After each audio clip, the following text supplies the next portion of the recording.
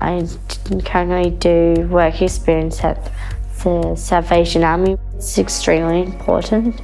It's like a stepping stone to employment.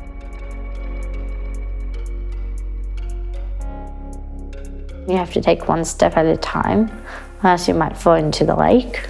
I want to impress the managers, the bosses, and even the head of the company. Shows me that I'm capable of doing SQN, anything